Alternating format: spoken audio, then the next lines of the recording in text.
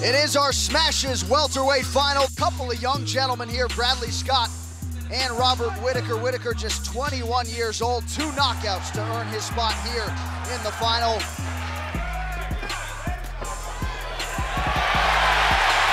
Oh, and that Whittaker shot floors Bradley Scott. He's in trouble.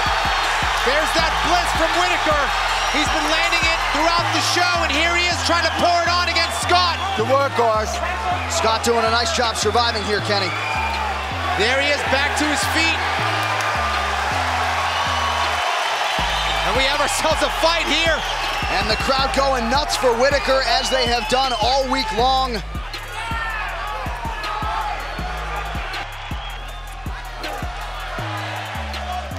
Let's go, guys. Third round. Come on. You can just see Whittaker. He's got that ability as a striker to not only find that chin, get the knockout, but he's just nasty. Bad intentions on what he's trying to do, whether it's throwing an elbow or a kick. He's trying to take your head off.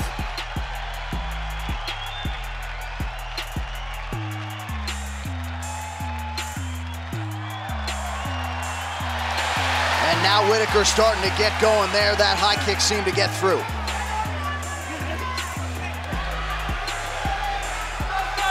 Well, certainly the output has been there for Whittaker here in the third round. Kenny, if there were any questions about his cardio or his ability to sustain the pace, those questions have been answered for Team Australia's Whittaker here tonight. Without a doubt, and it seemed like that second round really woke him up again. It got respect from Scott, and now look at Whittaker going forward. But we are here in the last minute of the third round, and he has stayed explosive and sharp throughout this fight. Appears to be a cut on the hairline of Bradley Scott that is now starting to faucet. That's from the elbow, John. He kept throwing that elbow. He's been looking for it throughout this third round, and uh, I believe it was that upward elbow that he threw as, as Scott came forward. And Whittaker now pressing forward. Another uppercut gets through. Crowd is going nuts right now. Every time Whittaker goes forward, with every shot, the crowd's going nuts here. And that keeps motivating Whittaker to keep doing it. And look at Scott going forward now.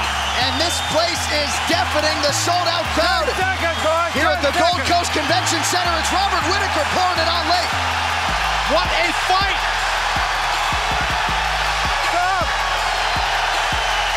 Robert Whittaker and Bradley Scott, three rounds down in the welterweight final. For the winner of the Smashes a welterweight final from Sydney, Australia, Robert